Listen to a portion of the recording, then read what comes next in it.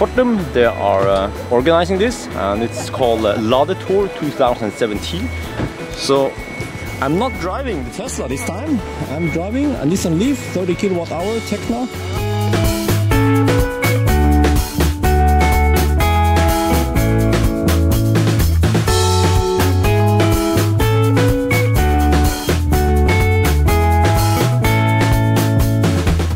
The chairs fit here just fine and I could probably fit like two, three, four more in here.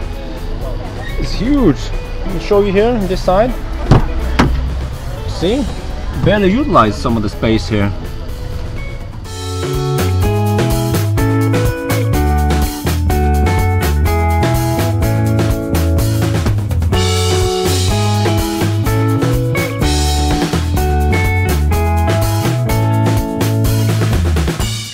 So that's gonna be. I get the impression that you know this car. Well, it is pretty nice, but uh, it lacks some uh, some features. It's getting old, also. That's the problem. But still, of course, if you're just looking for a car that can do uh, okay range, then Leaf 30 kilowatt hour is still a good car.